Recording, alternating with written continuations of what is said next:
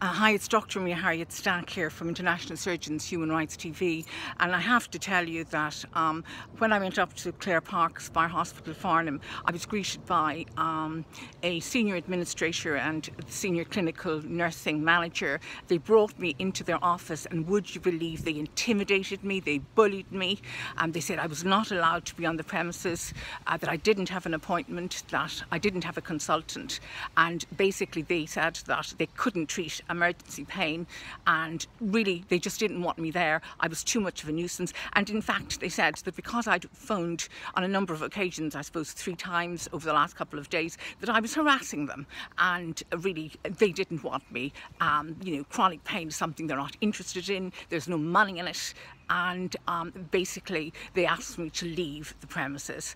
That is the treatment um, that Clare Park Spire Hospital staff uh, of the senior administration and the senior nursing, and they were actually, would you believe, laughing at me.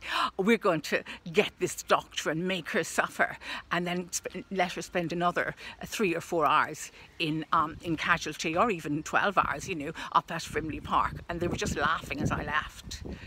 Isn't that an appalling abuse of human rights?